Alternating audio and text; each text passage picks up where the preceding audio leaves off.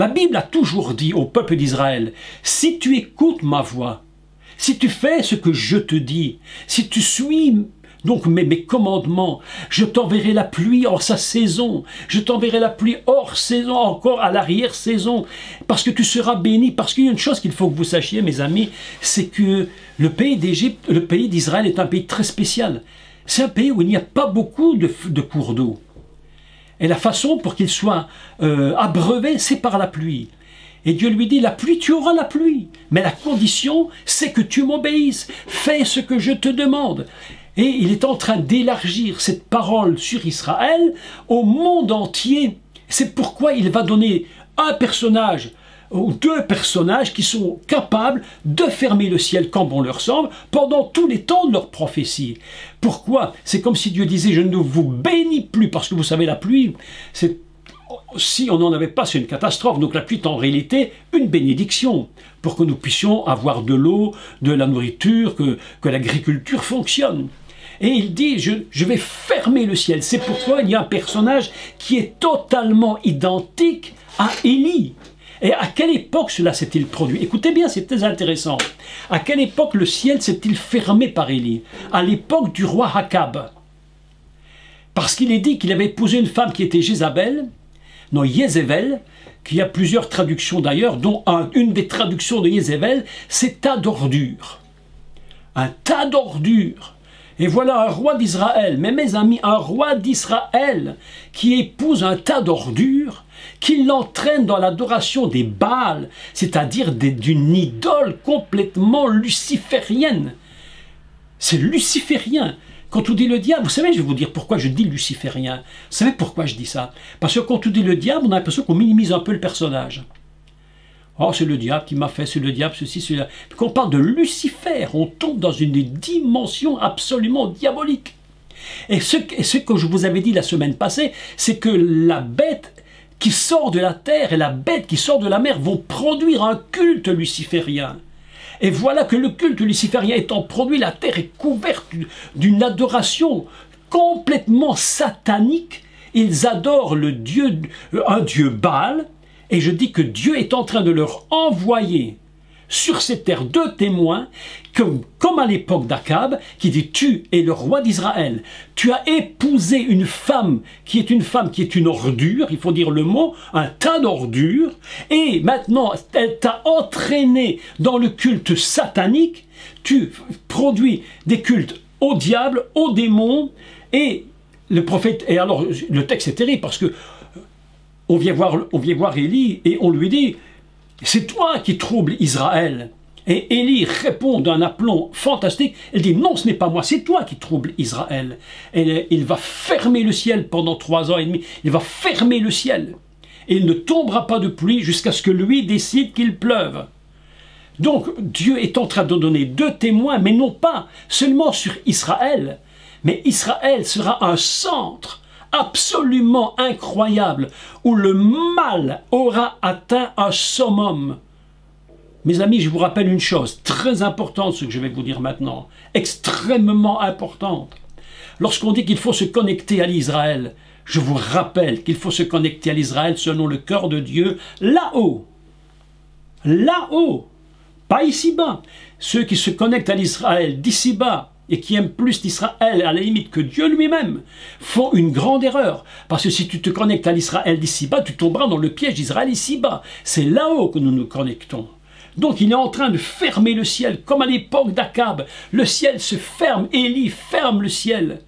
Et dit maintenant il ne pleuvra plus jusqu'à ma parole. Il dit à ma parole il pleuvra quand j'aurai décidé qu'il pleuvra. C'est quelque chose absolument, absolument indécidant. Il est écrit de frapper la terre de toute espèce de plaie chaque fois qu'ils le voudront. Vous imaginez Donc on se trouve dans un monde où il n'y a plus de morale, perversion totale, idolâtrie totale, culte luciférien, euh, tout est mis en place pour que le monde soit dans l'adoration de la bête.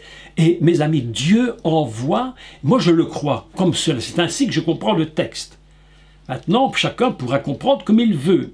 Mais selon que je comprends le texte, je crois que c'est dans la période de la bête là où il y aura une adoration luciférienne, où il y aura un péché, mais qui va déborder comme jamais, je crois que c'est dans ces temps incroyables que les deux témoins sont envoyés. Pourquoi seraient-ils envoyés à un autre moment? Dieu envoie des témoins au moment où le monde va mal. Dieu envoie Moïse parce que l'Égypte est dans un état absolument déplorable et qu'ils ont mis le peuple en esclavage. Je vous avais expliqué que la bête mettrait le monde en esclavage. Aujourd'hui, je suis convaincu mais alors, mais vraiment convaincu qu'on est en train de partir dans un monde qui est de plus en plus esclave. Esclave du mal, esclave de... Euh, euh, on est livré à tout esclavage diabolique. J'écoutais des informations sur le Canada ici, parce que nous avons la nous pouvons écouter des informations directement du Canada, et j'écoutais des, les infos où ils ont assassiné, tué des gens. Mais c'est incroyable, on le fait en France, on le fait en Autriche. le monde est esclave de la violence, il n'y a plus de limite à rien. Dieu n'envoie pas des deux témoins comme ces deux personnages dans un monde qui va très bien. C'est quand le monde est en esclavage, il va envoyer dans ce monde qu'on va appeler aujourd'hui complètement Égypte, et le cœur de l'Égypte, et c'est là le plus grand drame à mon avis, c'est que la place de Jérusalem, la place de la grande ville, est appelée symboliquement Égypte et Sodome. Mais mes amis, quand on parle de Sodome, on sait de quoi il s'agit. Ce sont des hommes qui violent des hommes. C'est une, homosexualité incroyable. Mais aujourd'hui, à l'heure où je vous parle, évaluez le nombre d'années qu'on est en train de mettre dans la tête des gens que toute homosexualité, homme ou femme, est absolument nécessaire et obligatoire. Et on, ne peut, on nous empêche même de dire le contraire. Sinon, c'est nous qui sommes condamnés. Comment ça s'appelle cela? Ça s'appelle Sodome et Égypte. Et c'est dans ce contexte international d'une dimension, mais alors inimaginable, de déchéance morale, d'une catastrophe qu'on ne peut même pas comprendre, que Dieu envoie ces deux témoins. C'est pourquoi je vais vous dire ce que je crois. Je vais vous dire comment je comprends le texte. Vous savez quoi? Je ne sais pas si vous allez être d'accord avec moi, mais je crois que Dieu garde secret qui sont ces hommes. Il les garde en secret. Parce que s'il les dévoilait trop tôt, je pense que le diable serait capable d'essayer de les détruire avant qu'ils ne viennent. Il y a des choses qu'il ne faut jamais dire avant qu'elles n'arrivent, même si tu en as le projet. C'est comme ça même pour nous. J'ai appris dans ma vie parfois à savoir me taire sur mes projets. Parce que quand tu as des projets, que tu les dévoiles trop tôt, alors ça peut finir en catastrophe parce que les gens n'aiment pas ton projet, ne te comprennent pas, ils te combattent. Et j'ai l'impression que ces deux témoins, en réalité, on ne connaît pas qui ils sont et que Dieu ne veut pas qu'on les connaisse véritablement parce qu'au moment où ils apparaîtront, on ne, pourra plus rien faire. Ce sera trop tard, leur ministère va démarrer, il sera bref, trois ans et demi, puis ça s'arrêtera. Vous savez, parfois, c'est pas, pas les grands ministères qui sont les plus, forts. Hein. C'est pas parce que tu as 20 ou 30 ans de ministère ou 40 ans. Hein. Non, non, tu peux faire trois ans et regarder le Messie. Trois ans et demi et on en parle encore après 2000 ans. Donc ce, n'est pas ça qui est important. Mais je crois que Dieu les garde, à mon avis, il les garde bien secrètement. Et au moment favorable où Dieu va dire c'est maintenant que je dois les envoyer, les deux témoins vont arriver.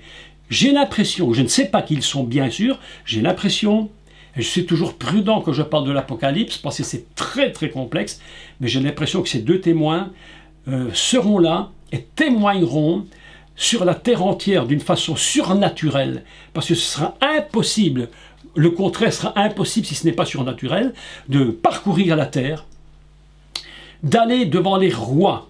Je crois personnellement qu'ils iront devant les rois, devant les présidents, devant les chefs politiques les plus élevés. Vous savez pourquoi je dis cela? Parce que si vous regardez Moshe, il était devant Pharaon. Si vous prenez Élie, il était devant Akab.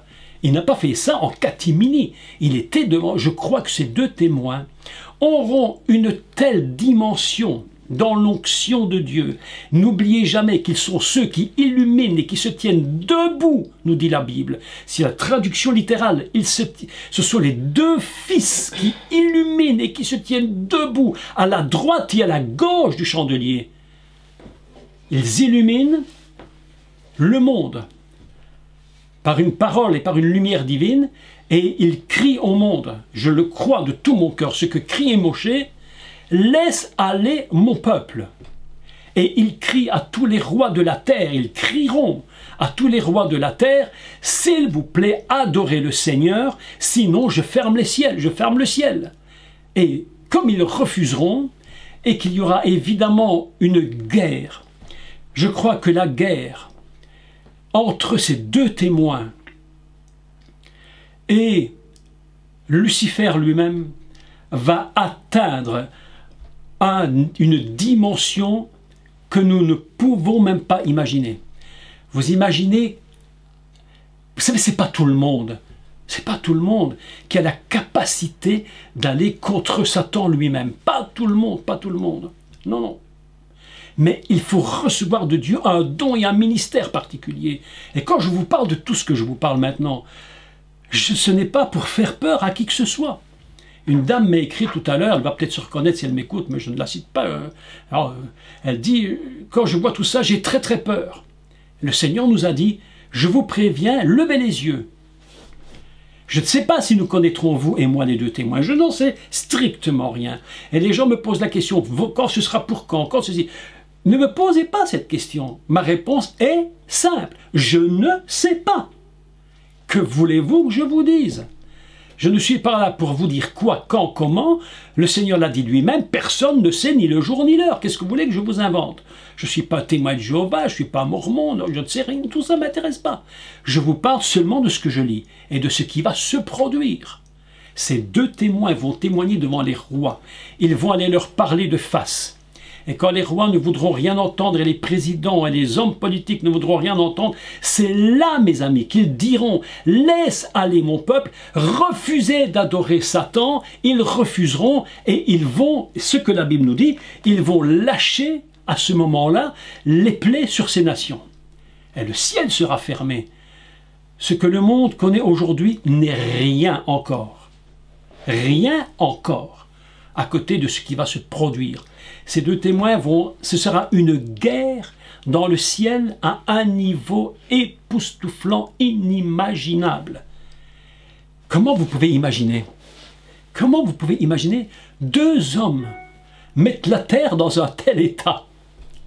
La planète entière on pourra encore considérer. Alors certains m'avaient dit, certains m'avaient dit, non, non, non, non, il ne s'agit pas de deux hommes, ce sont deux groupes de personnes qui vont parcourir le monde, tati, tata. Je, je vais vous dire, je ne le crois pas du tout. Pourquoi je ne le crois pas? Parce que la Bible nous enseigne clairement que leur ils vont les tuer à la fin de leur ministère et leur cadavre sera sur la place. On ne sait pas mettre deux communautés de milliers d'hommes sur la place de Jérusalem. Non, il s'agit donc bien de deux personnes. Deux personnes particulières. Donc, la Bible nous dit une chose absolument extraordinaire sur eux. Elle nous donne encore un, un détail qu'il ne faut pas oublier. Je vous dis ceci, je vous dis ceci. Beaucoup trop de gens qui font de l'eschatologie, c'est mon avis, se braquent beaucoup trop sur les temps et la suite des événements. Et ils oublient de dévoiler les choses les plus importantes. Et une des plus importantes, c'est un petit mot qui est écrit dans ce texte. Je l'ai relu en français, je l'ai relu en hébreu, dans les traductions différentes qui existent, et il dit ceci, écoutez bien. Je donnerai à mes deux témoins, au verset 3, le pouvoir de prophétiser, pour commencer. Écoutez bien, de prophétiser c'est-à-dire qu'ils vont aller dans les nations, ils vont voir les rois, les présidents, et ils vont leur prophétiser. Ils vont leur dire les sentences, ils vont leur dire les paroles de Dieu, connectées directement du ciel. Et la suite n'est pas finie. Il leur a donné le pouvoir de prophétiser revêtus de sacs revêtu de sacs. C'est quoi ça? Pourquoi la Bible nous, nous prend-elle le temps de nous dire qu'ils seront revêtus de sac? Que représente le sac? Quand quelqu'un était dans la Bible et qu'il était dans le deuil, le deuil, il se revêtait de sac. Et ce sac représente donc le deuil et représente en même temps l'humiliation. Ils viennent devant les rois en toute humilité, conduits par la présence de Dieu, et ils leur disent, ils vont dire à ces hommes politiques, ils vont leur dire qu'ils sont dans le deuil pour la terre, ils sont dans le deuil, ils seront revêtus je ne sais pas comment, parce que nous sommes plus à l'époque où on mettait des sacs sur notre dos, ou sur nos reins, mais ils porteront quelque chose qui montrera qu'ils sont véritablement des hommes qui portent le deuil de l'humanité, le deuil de la catastrophe. Quelque chose est mort, quelque chose est en train d'être totalement, ils sont humiliés, ils portent l'humiliation de la catastrophe de ce monde devant les rois et les présidents. Et ils vont produire de tels miracles jusqu'au point, écoutez, mais écoutez le texte parce que c'est incroyable. Écoutez, ils ont le pouvoir de fermer le ciel, je vous l'ai dit, afin qu'il ne tombe point de pluie pendant les jours de leur prophétie. Trois ans et demi. Sécheresse totale. Mais attendez, le pire n'est pas là. Le pire, c'est pas encore ça, c'est la suite. Et ils ont le pouvoir de changer l'eau en sang. C'est-à-dire qu'écoutez bien le texte, pour vous dire ce qu'ils ont comme force. Mais je ne parle pas d'Égypte ici, je parle du niveau international internationale. Pendant que la bête est en train de pousser l'humanité à adorer la bête qui sort de la mer, que tout est mis en place à faire parler l'image de la bête. Ces deux témoins parcourent le monde et ils sont en train de dire Laisse partir mon peuple, repentez-vous. Ils sont dans le deuil, ils sont complètement dans l'humiliation complète. Mais le monde ne les écoute pas. Et le pire, mes amis, c'est que quand il ne pleut pas pendant trois ans et demi, et que le peu d'eau qui te reste, que tu gardes précieusement, est transformé en sang, je te dis, là c'est un drame épouvantable. Épouvantable. Les gens à ce moment-là vont voir ces deux témoins et les nations entières, les rois, les présidents, le peuple lui-même de toute la terre, les milliards des personnes vont commencer à en avoir, mais passez-moi l'expression, mais par-dessus la tête de ces deux hommes. Ils en auront tellement assez d'eux. Ils seront tellement, tellement, tellement accablés par les plaies, par la sécheresse, plus rien à boire. Je vous rappelle que la plaie du sang en Égypte, elle est absolument inimaginable. Pour ceux qui n'étaient pas là ou qui n'avaient pas entendu ce cours, je fais une parenthèse sur l'eau changée en sang. La traduction n'est pas bonne en français. On a traduit des vases de pierre et des vases de terre, mais c'est pas ça qui est écrit. Il est parlé des arbres et des pierres qui seront changés en sang. C'est-à-dire que même un arbre, lorsque tu mangeais son fruit, l'eau qui était dans le fruit se transformait en sang dans ta bouche. C'est absolument incroyable. Lorsque tu faisais une maison, que tu venais de la bâtir, il y avait encore de l'humidité dans les murs, le texte dit que même les murs commençaient de couler du sang. Trois ans et demi de sécheresse pour des hommes qui ne veulent rien entendre, qui ont porté toute leur attention vers Lucifer, qui ont mis un culte de Baal complètement à Lucifer en train de voir un ciel se fermer, l'eau se changer en sang, et puis toutes les plaies qu'ils pourront faire à leur guise, selon qu'ils veulent, mes amis. Les deux témoins, mes amis, on n'a même pas, on peut, on peut à peine imaginer la puissance qu'ils ont. Alors nous ne savons pas qui ils sont, nous ne saurons jamais qui ils sont avant qu'ils ne, avant qu'ils ne fassent leurs affaires. Et je crois que Dieu avait bien raison de ne pas nous dire qui ils étaient. Et je crois même que Dieu a bien raison dans l'Apocalypse d'être un peu plus confus entre parenthèses confus, pour que nous ne comprenions pas tout dans l'ordre, afin que nous soyons prudents et que nous soyons prêts à toute éventualité. Aujourd'hui, comme nous dit Nancy, c'est un flou, un flou artistique. L'Apocalypse, c'est comme le livre de la Genèse, les trois premiers chapitres, c'est un flou artistique. C'est magnifiquement écrit, mais on n'y comprend pas grand-chose dans le temps. Il faut être honnête. Et je vous dis encore une fois, ne me demandez pas dans quel ordre ça va venir, mais ça va venir.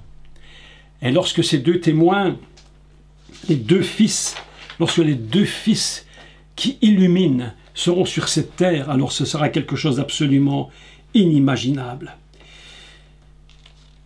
Le monde est devenu l'Égypte, le monde est devenu Sodome.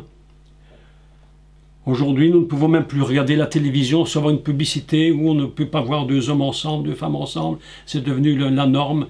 Ils veulent absolument que ça rentre dans les mœurs. Il faut que tout le monde trouve ça normal. Voilà, c'est ainsi que ça se passe. C'est là que je me demande même, mes amis, je me pose la question.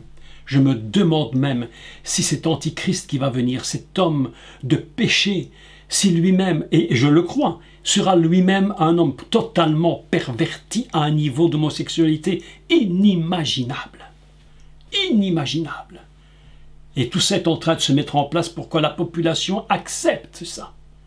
Accepte et qu'on ne puisse plus dire le contraire. Vous imaginez qu'aujourd'hui, si vous dites que vous êtes contre, c'est vous qui êtes condamné. Hein vous êtes condamnable. Vous pouvez même aller en prison pour ça. Payer des, sommes pas croyables, c'est inimaginable. On est en train de mettre en place le système qui va amener tout cela. Et Dieu va envoyer deux témoins. Le monde connaît un chaos inimaginable. C'est pourquoi je crois que ce qui se passe aujourd'hui n'est qu'une prémisse. Vous savez quoi? Je vous parle très franchement, et je ne suis pas là pour faire le grand professeur de la fin des temps, hein, pas du tout. Je vous parle seulement sur mon cœur. Je crois qu'aujourd'hui, le monde, tel qu'il est dans l'état où il est aujourd'hui, le 3 novembre à 21h51, je crois que le monde n'est pas encore, écoutez-moi, vous ferez l'évaluation de ce que vous pensez, vous, comme vous voulez. Je crois que le monde n'est pas encore assez mûr pour faire venir tout de suite demain, à moins que quelque chose de dramatique se produise, ce qui est peut-être possible, c'est-à-dire une guerre incroyable qu'en Israël on attend cette guerre, on est quasi certain qu'elle va se produire rapidement, à moins que quelque chose bascule d'une vitesse incroyable, mais aujourd'hui, à l'heure où je vous parle, je crois qu'il manque encore un peu quelque chose pour que l'humanité soit prête à, à se prosterner devant un Dieu unique qui serait Lucifer. Il faut préparer la population du monde. Nous sommes en train de la préparer. La première chose qu'on lui prépare, c'est de dire tais-toi. Écoute et tais-toi. Écoute et tais-toi, on ne vous demande rien. On vous demande d'obéir. Ainsi, progressivement, on va arriver à un moment où l'humanité sera prête. Aujourd'hui, on est dans le mûrissement, je le crois, de quelque chose qui va arriver plus tard. Mais nous allons maintenant, il nous reste encore une dizaine de minutes, lire la fin du texte au, verset 7 du chapitre 11.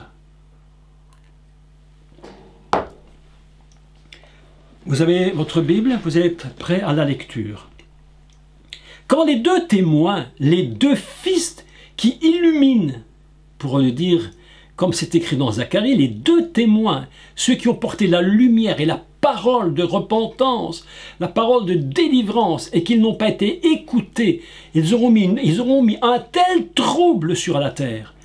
Les gens en auront tellement assez de ces deux hommes on va se dire, mais quand est-ce qu'ils vont s'arrêter? Qu'est-ce qu'on essaye? La Bible dit, on va essayer de les tuer, mais tous ceux pendant les jours de leur prophétie qui auraient essayé de les tuer seront tués par le feu qui sortira de leur bouche. Je ne sais pas, je sais pas qui sont ces hommes. Franchement, incroyable. Écoutez la suite.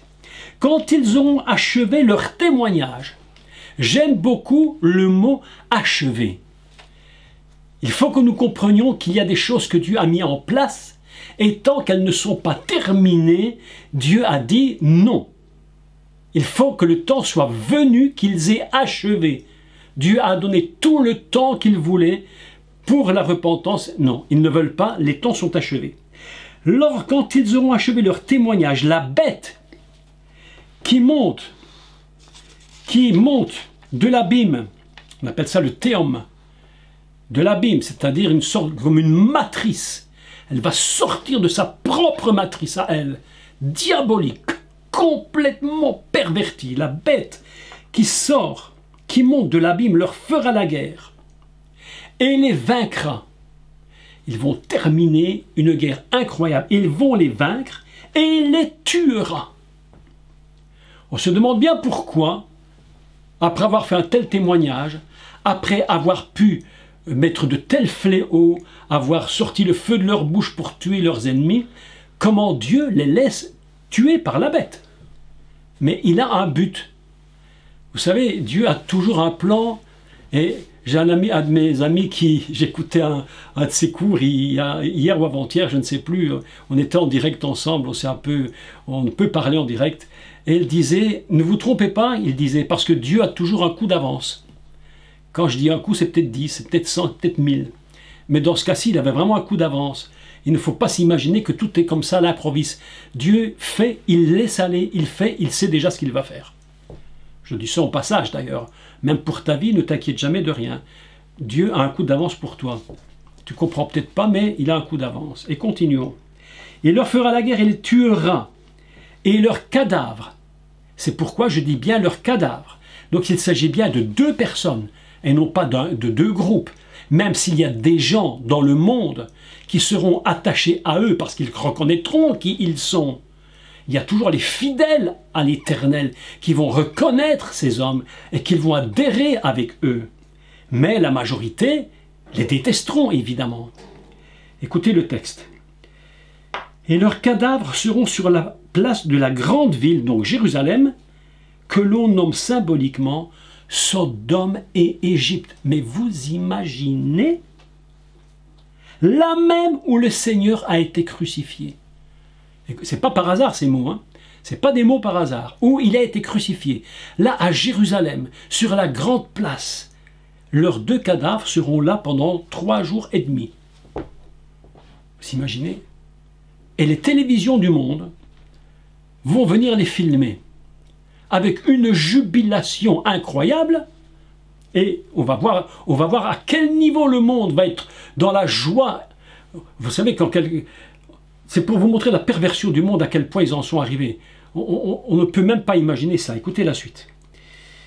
Des hommes d'entre les peuples, les tribus, les diverses langues, et les nations verront leurs cadavres pendant trois jours et demi, et ils ne permettront pas que leurs cadavres soient mis dans un sépulcre.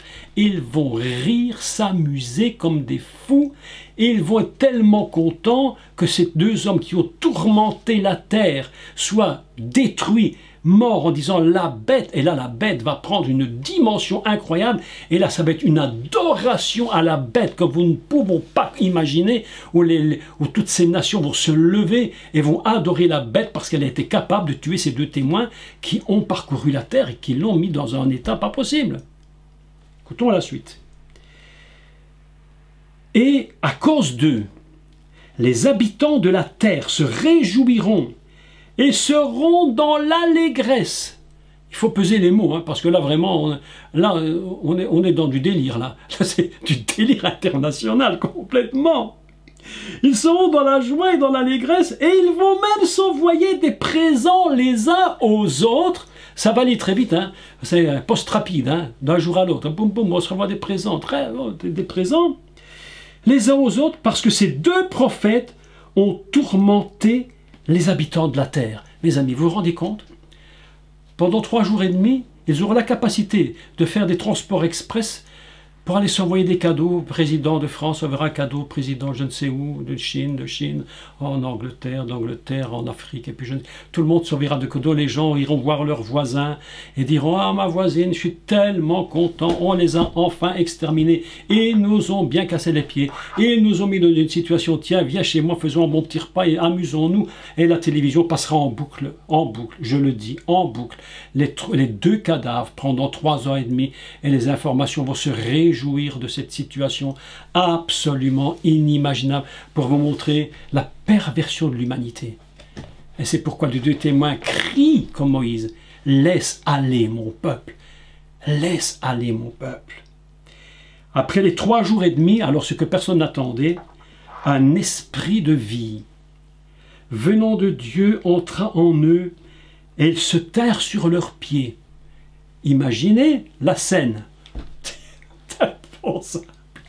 Imaginez la scène, impensable, incroyable. Et une grande crainte s'empara de ceux qui les voyaient. Et ils entendirent du ciel une voix qui leur disait Montez ici. Et ils montèrent au ciel dans la nuée. C'est pas la première fois que l'Apocalypse nous dit Monte ici, et je te ferai voir. Monte ici, monte ici, il dit. Et ils montèrent au ciel dans la gloire de la nuée. Et je me suis posé une question. Je me suis posé, mais j'ai pas, je ne dis pas que c'est la réponse parfaite. Je me suis demandé si c'est pas ce moment-là, mais entre parenthèses, mille guillemets, tout ce que vous voulez, si ce n'est pas à ce moment-là que l'Église serait enlevée. Je ne sais pas. Peut-être. Peut-être. Peut-être. Ceux qui vont écouter ça vont m'écrire des dizaines d'emails. Ouais, oui, non, enfin. Mais je dis peut-être. Moi, je suis prudent là-dessus. Je dis peut-être mais montez ici dans la nuée. Et l'apôtre Paul nous dit au son de la trompette, lorsque la trompette sonnera, nous serons tous enlevés avec lui dans la nuée, les morts ressusciteront, nous serons enlevés avec lui. Ça, c'est l'enlèvement de l'Église. Elle arrivera un jour, je ne sais pas quand, peut-être là, peut-être. Mais continuons la suite. Et ils montèrent au ciel dans la nuée, et leurs ennemis les virent.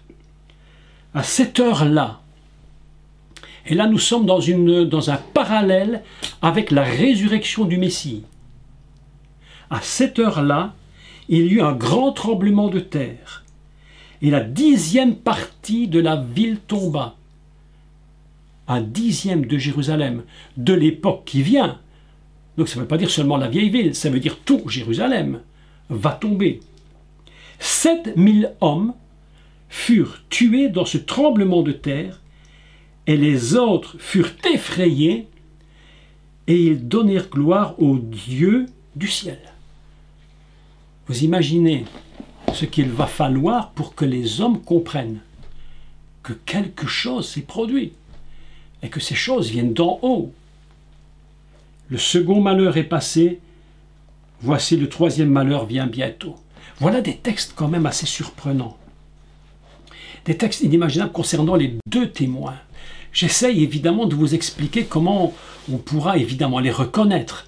C'est à cela que j'essaye de m'expliquer comment reconnaîtra-t-on, reconnaîtra-t-on la bête qui monte de la mer? Comment va-t-on reconnaître la bête qui monte de la terre? Et maintenant nous sommes là à se demander, mais comment va-t-on reconnaître ces deux témoins, mes amis? Quand ils seront là, nous allons comprendre. Nous allons comprendre. Mais il va y avoir un combat incroyable. Et ce combat, vous savez comment je l'imagine? Eh bien, je l'imagine un peu deux puissances qui produisent chacune des miracles. Il est dit que la bête produit elle-même des miracles aux yeux des hommes. Et je pense qu'il y aura une sorte de, surenchère de, surenchère de prodiges et de miracles. De surenchère de, miracles, de prodiges probablement, où la bête va montrer qu'elle a quelque chose d'absolument égal à ces deux témoins. C'est l'opinion que j'ai de ce texte. Mes amis, les temps qui viendront sont des temps extrêmement difficiles. Euh, vous savez, l'autre jour, j'ai entendu une personne, je ne sais plus comment on appelle ce genre de, personne, un humaniste, je crois des humanistes, oui, les humanistes, je pense. Il croit encore que l'homme est bon et que l'homme va changer. Il croit encore que l'homme va s'améliorer. Écoutez, si après 6000 ans il ne s'est pas amélioré, je ne crois pas que c'est dans trois semaines qu'il va s'améliorer. Le verre est pourri jusqu'au bout, euh, écoutez, il est pourri jusqu'à la fin, et vous savez, la pomme pourrie, euh, on ne la mange pas, elle, ne, devient pas meilleure. La pomme pourrie devient de plus en plus mauvaise jusqu'à ce qu'elle disparaisse et qu'on la jette. Et ces humanistes croient que l'homme va devenir meilleur et qu'il va demain devenir quelqu'un qui pourra comprendre. Et on essaye de crier paix, la paix sur la terre. Mes amis, nous l'avons déjà dit que quand ils crieront paix, tout le monde saura qu'il ne s'agit pas de la paix, mais qu'il s'agira d'une catastrophe et que ce sera l'épée de la destruction et non pas la colombe de la paix, comme nous l'avions déjà expliqué. L'homme est mauvais par-dessus tout, il est pécheur par-dessus tout, et tant qu'il n'aura pas le Sauveur pour le libérer de son Égypte de péché et de vice et de, de, tout ce qui est pire qu'on peut imaginer, l'homme ne va jamais s'arranger. L'humanisme est un, est, est, un, est un rêve absolument insensé. La Bible nous enseigne que l'homme est mauvais et que plus il avancera, plus il le sera, et Dieu va venir, il va frapper l'humanité. Et je pense que ces deux témoins sont deux personnes qui ont un, travail si particulier, si particulier, que personne ne pourra atteindre ce qu'ils sont, c'est un appel vraiment particulier sur ces deux hommes, dans un temps de confusion inimaginable, qui ne sera pas une Égypte seulement, mais le monde entier s'appellera Égypte et Sodome. Et la capitale et le pire, c'est que la capitale de cette Égypte et de ce Sodome international sera Jérusalem. Et là, mes amis, là, Dieu va devoir intervenir d'une façon terrible. Il va devoir intervenir et des guerres terribles vont se produire jusqu'au moment où Israël sera presque rasé de la terre. Et si, et la Bible nous dit toujours dans Zacharie, il nous dit, ils vont crier vers celui qu'ils ont percé. Ils vont crier. Avant, le peuple criait. Le peuple criait vers celui qui avait été blessé par l'épée. Vous vous souvenez? La bête qui était blessée comme morte par l'épée. Et il croyait que c'était lui le Messie. Il croyait que c'était lui. C'est pourquoi il est dit, il était blessé par l'épée. Mais voyant que tout ça tourne au drame épouvantable, ils vont se tourner vers celui qui était blessé. Et on appelle ça en hébreu dakarou, c'est-à-dire percé de la lance. Et de cette lance est sorti de l'eau et du sang. Et c'est pas pour rien qu'on utilise dakarou. Et non pas crucifié, mais dakarou. Ainsi le monde va à un moment donné se rendre compte de ce qui se passe. Mes amis, aujourd'hui, je vous rappelle et je clôture. L'Apocalypse ne commence pas par ces choses. L'Apocalypse commence par les sept églises. Les sept églises. Comme pour nous dire, comme Dieu appelle l'Église et dit Mon Église, fais attention. Regarde dans quel état tu te trouves aujourd'hui. Aujourd'hui, les églises sont fermées. On fait des, on on fait des cultes par Internet parce qu'il n'y a plus le choix. Mais le jour où on ferme Internet, qu'est-ce qu'on fait? Il faudra se rassembler dans les maisons. Les églises bâtiments n'auront plus de sens, on n'aura plus même aucune raison de continuer. On sera bien obligé de se cacher. Tous ces croyants qui voudront résister. Vous savez, je ne crois pas un instant que l'Église ne, ne, connaîtra pas des difficultés terribles. Je ne crois pas que l'enlèvement de l'Église se fera avant ces choses. Je crois que l'Église sera livrée à des difficultés immenses. C'est pourquoi il commence en disant Mon Église, mes sept églises, celles qui sont devant moi, je vous mets en garde, je sais qui tu es, je sais à quel niveau tu te trouves, je sais comment tu fonctionnes. C'est pourquoi aujourd'hui on a l'impression que c'est peut-être plus qu'une impression que Dieu dit maintenant, je veux que vous, que vous réfléchissiez à votre état. Parce que ce qui vient dans la suite, je vous le dis, mais le plus important, c'est que nous soyons prêts pour le jour du Seigneur. Et quand nous entendrons la voix qui va crier dans le ciel, Voici l'époux Voici l'époux Eh bien mes amis, pour certains, ce sera trop tard. Et la Bible nous dit que la porte a été fermée. Elle était fermée. Alors je ne sais pas si cette théologie, enfin si cette doctrine théologique est vraie, qu'il y aura une deuxième chance, mais la Bible nous dit que la porte fut fermée point à la ligne. Moi personnellement, peut-être je me trompe, mais je n'ai lu nulle part qu'elle serait réouverte. Elle est fermée, elle est fermée, comme à l'époque de Noé. Et que va-t-il se produire maintenant? Où en est son épouse? Où en est l'Église? Mes amis, voilà ce que je voulais vous dire ce soir.